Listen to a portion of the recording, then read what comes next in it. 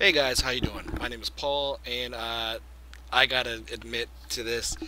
I got Batman Arkham Knight expecting it to be beastie on the PC, and this port is really bad.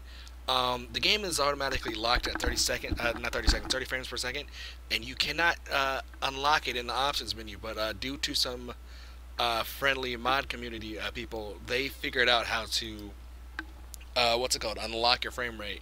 So what you should do is go into your Steam library. You're gonna right click. You're gonna go to Properties. Um, you're gonna go to your local files. You're gonna go to your Browse local files.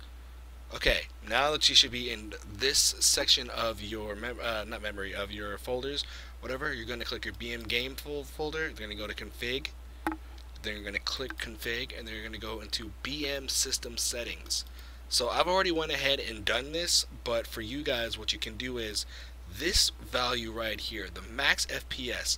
I have 60 on mine because my PC isn't that godlike to where I can't do more than 60, but uh, it unlocks the frame rate to whatever you set in this section. So that is really uh, like really quick, really quick tutorial like how to unlock your frame rate.